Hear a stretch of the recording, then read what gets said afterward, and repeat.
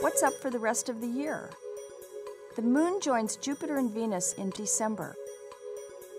Hello and welcome. I'm Jane Houston Jones at NASA's Jet Propulsion Laboratory in Pasadena, California.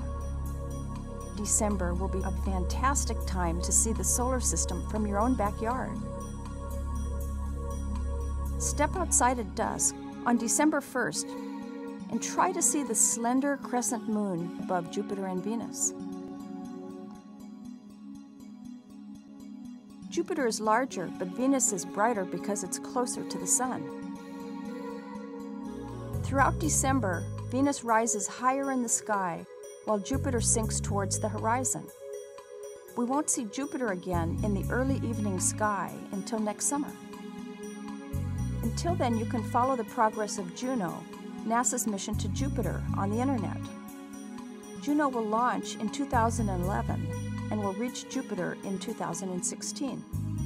Juno's infrared and microwave instruments will measure the thermal radiation from deep within Jupiter's dense atmosphere. On New Year's Eve at sunset, bid Jupiter a fond farewell. It's low on the horizon while Venus shines higher, and the slim crescent moon lies in between the two. And just at midnight, step outside and look to the east. That bright golden glow you see just below the constellation Leo, is Saturn. You can learn all about NASA's missions at www.nasa.gov. That's all for this month, and that's all for this year. I'm Jane Houston Jones.